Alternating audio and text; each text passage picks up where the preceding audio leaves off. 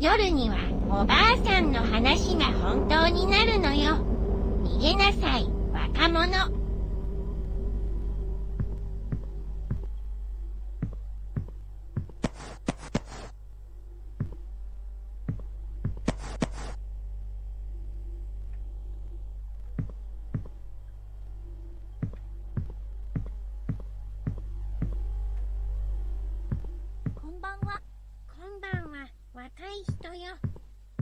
たかしら。テケテケの事件のこと。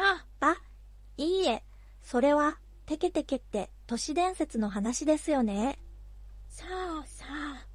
あなた若いから、知らないかもしれないけど、最近その話が現実になったのよ。恐ろしいことよ。ええ本当に？何があったんですか？今夜、この町で、彼女が現れたら、二度と逃げられないわ。気をつけなさい、若い人よ。気をつけなさい。は、はい、気をつけます。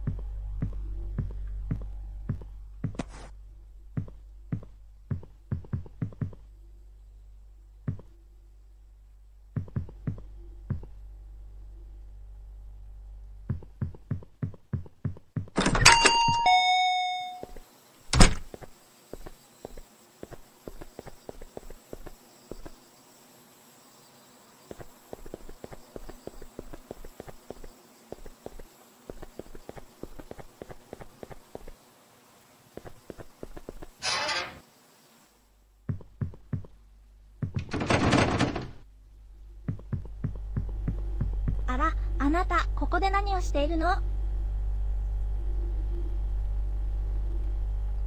なるほど。ちょっと待っていて、すぐに戻りますから、戻ってお店でお待ちください。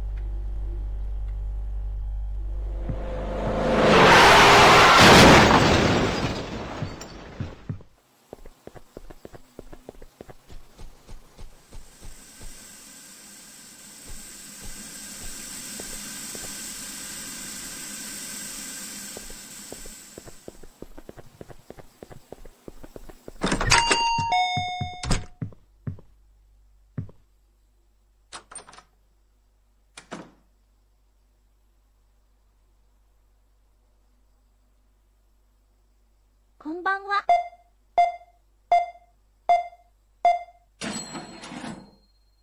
合計金額は2750円になります。あ、あのおばあさんはちょっと変わった人だと思います。夜になると不思議な話をよくされるんですよ。